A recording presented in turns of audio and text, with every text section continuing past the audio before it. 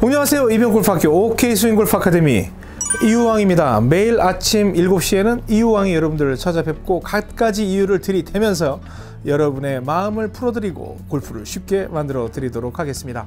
좋아요 구독 알람 설정 많은 이들에게 야 이유왕 뭔가 새로운 게 엄청난 게 시작된 것 같아 라고 알려주시고 어, 멤버십 프로그램 가입하시면 훨씬 더 깊이 있는 레슨 받으실 수 있습니다. 자 오늘 제목 보니까 뭐라고 돼 있습니까? 아 젖은 모래에서 벙커샷이 유독 어려운 이유 이렇게 돼 있어요. 제가 왜 시작한 지도 얼마 안 된 시점에서 이 드라이버도 아니고 이 벙커샷을 먼저 가지고 왔을까요?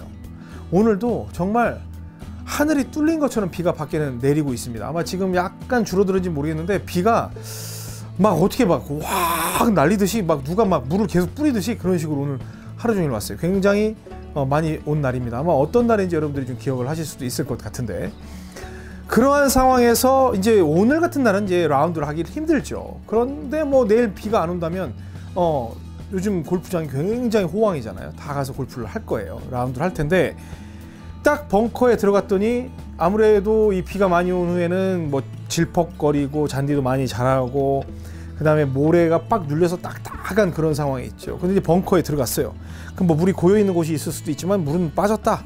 근데 딱딱하게. 근데 여러분들이 이 벙커샷을 하다가 어 이게 한번 비벼봤더니 어 비벼봤더니 뭐 괜찮은 것 같아 하다가 이런 식으로 쳐가지고 분명히 모래를 쳤는데 탁 튀어나가지고 일자로 빡 뻗어나거나 아니면 앞에 있는 이 벙커라고 그러잖아요 이렇게 모래 다음에 칸막이 같이 있는 그곳 팍 맞고 다시 내려오는 이런 경험은 한 번쯤은 다 해봤을 겁니다. 왜 그러냐면 이 우리 벙커샷은요 이 leading edge로 치는 게 아니라 여기 leading edge라는 건 여기 날카로운 부분 있잖아요. 이로 치는 게 아니라 클럽 페이스를 이렇게 연 상태에서 이 퉁퉁한 바운스라는 부분이 먼저 팡 맞게 하기 때문에 실제로 보면 leading edge는 이렇게 다 있지만 바운스를 하면 이렇게 떠 있어요. 그러니까 이쪽을 쿵 맞고 팍 공의 옆구리를 맞는 경우가 굉장히 많이 있거든요. 그런데 예를 들어서 모래가 굉장히 소프트하다. 그러면 여기 이제 뭐 스크린 골프에서는 이렇게 구현이 되니까 소프트한 상황이라면 여기에서 오픈을 한 상태에서 그냥 부드럽게 아래로 이렇게 넣으면 그냥 빠져나가잖아요. 이렇게 들고 들고 이런 식으로 하면 소프트하게 빠져나가요. 근데 이러한 힘으로 벙커샷을 젖은 모래에서 단단하게 다져진 모래에서 해버리면 어떤 일이 벌어지냐면 물론 이제 제가 약간 이 시연을 할 때 연기를 해야 되지만 딱 있을 때 이런 식으로 맞아가지고 분명히 저는 바닥을 쳤다고 생각을 하는데 뭐 완전 운 좋아서 낮은 뱅크면은 저쪽까지 넘어가는 거고 그렇지 않으면 다시 들어옵니다. 이럴 때는 어떻게 치셔야 되냐면요. 아무래도 여러분들이 땅을 두들기는 압력을 높이셔야 돼요. 그러면 저한테 이제 그렇게 질문을 합니다. 아 그러면 똑같이 열고 똑같이 연 상태에서 그냥 밑으로만 빵 박으면 되나요? 이렇게 질문을 하시는데 그래도 모래를 파고 들어가는 게 상당히 어려워요. 물론 여러분들이 이렇게 들어가서 비벼보면 발이 이렇게 비볐는데도 안 들어가면 이건 굉장히 다져진 상황이거든요. 딱딱하고 그런 상황에서는 정말 감각 좋은 분들은 벙커인데 그냥 이렇게 어프로치를 해가지고 나오는 분들도 있지만 그거는 될 수도 있고 안 될 수도 있는 상황이잖아요. 그러면 확실한 방법은 뭐냐면 이 leading edge 있죠, leading edge. 그러니까 지금까지는 요 바운스를 쿵쿵 치면서 했는데 열지 말고 leading edge가 먼저 들어가게 치셔야 돼요.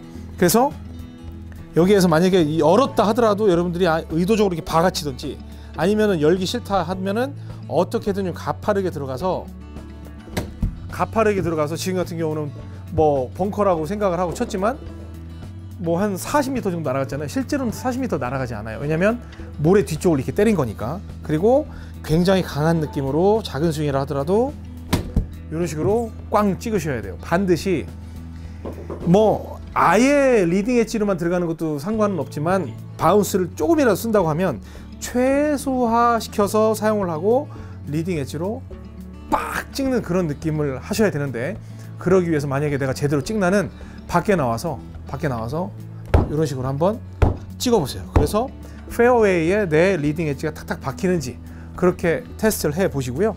여기에서 막 눕히고 이런 거 하지 말고 세워서 빵 이런 식으로 찍게 되면 여러분들이 평소에 벙커샷을 했던 그 느낌대로 나올 수는 있어요. 근데 이제 그거에 뭐 어떤 그 모래 상황에 따라서 더 굴러가거나 아니면 팍 어프로치처럼 팍팍 쓰는 그런 경우도 있는데 그거는 여러분들이 경험치를 통해서 테스트를 해 보셔야 되고요. 일단은 leading edge로 벙커샷을 한다. 그래서 여러분들이 하, 왜 나는 어? 이 비가 온 다음 날 딱딱하게 이 다져진 모래에서는 벙커샷을 그렇게 못할까?